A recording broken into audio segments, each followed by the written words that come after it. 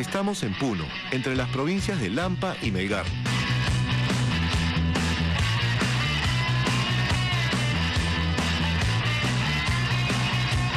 Hemos salido de Lampa con dirección norte por las Pampas de Marno. Hoy haremos el llamado circuito cordillerano.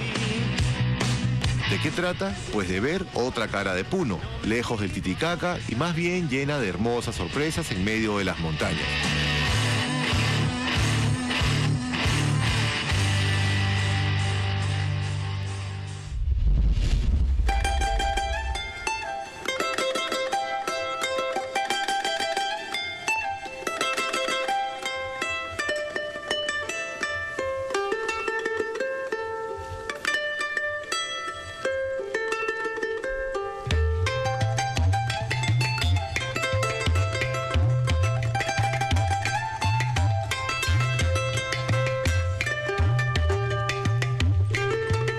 El altiplano poco a poco va quedando atrás. Más bien la camioneta empieza a descubrir escenarios hermosos mientras seguimos al río Palca. Primera parada.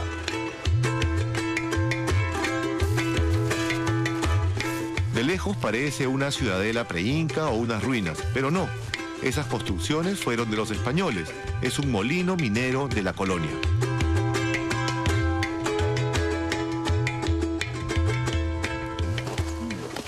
Era todo un complejo. Era un complejo, era un complejo.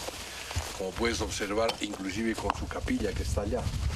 Una capilla Así también. es, ya con los españoles. Y aquí traían el mineral de varios sitios. Eso de, de- de todos los alrededores, las bocaminas de los alrededores, los traían acá para darles un, un tratamiento primigenio inicial, ¿Para llevarlo a dónde? para llevarlo ya al, a, a puerto, si quieres, en, primero a lomos de mulas y de llamas, ¿no? Qué lindo.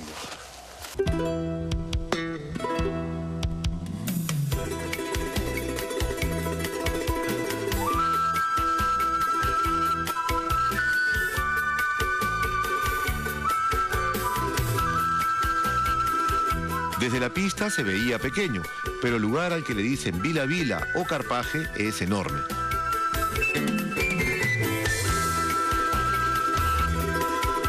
En la colonia, a los españoles solo les interesaba el oro y la plata, igual que a muchos empresarios de hoy, y en sitios así es que se procesaba el mineral. En realidad, este ingenio minero fue un sitio donde se explotó a los indígenas y a su tierra. El oro se fue a España y aquí no quedó nada. Deberíamos aprender de la historia. En su época, estas ruedas de piedra eran la máxima tecnología para moler el mineral. Hoy, felizmente, la principal actividad de la zona es la ganadería. Es un trapiche minero de los seis que existen en Lampa. Este se llama Carpaje y que eh, es demostrativo del, auge que tuvo la minería en esta parte del Perú, concretamente en Lampa.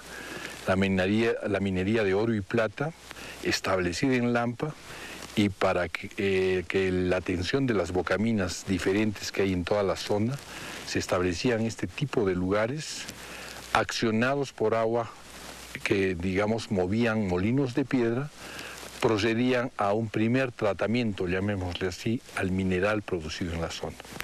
Este trapiche que está a mis espaldas tiene alrededor de 500 años, porque se atribuye no solamente la, la españolidad que le es característica, sino tiene un origen inca también. Seguro que hay muchas historias que contar de este lugar. Venga, descubre el pasado y luego síganos que el circuito cordillerano se pone mejor.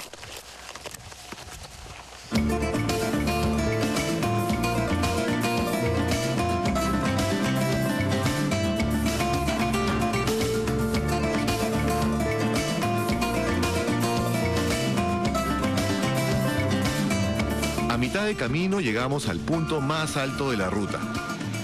Oscar, entusiasmado como él solo, nos cuenta que allí, allí y allí hay más molinos y que toda esta zona está llena de lugares para promover el turismo.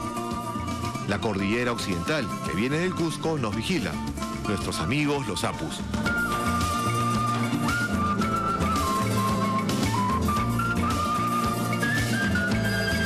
Esta zona de Puno, especialmente Lampa, Ayaviri y Macusani, son los mayores productores de alpaca del país. Este es su mundo, donde el aire es limpio y reina el ichu. Aquí también hay llamas y ovejas, pero es la alpaca la dueña de estas alturas. ¿Ustedes en casa tienen alguna cosa hecha con lana de alpaca? En invierno abriga riquísimo.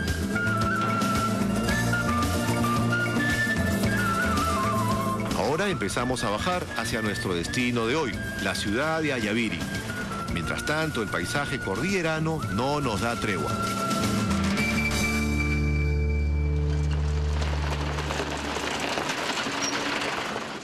Dos horas de camino y estamos entrando al bosque de puyas de Tarucani. Impresionante lugar.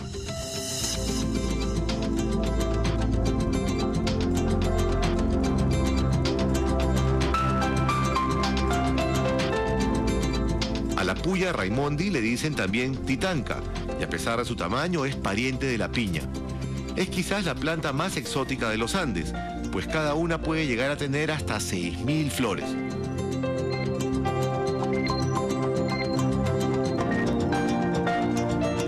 Lo lindo acá es que este rodal de puyas está a ambos lados de la carretera, inacabable.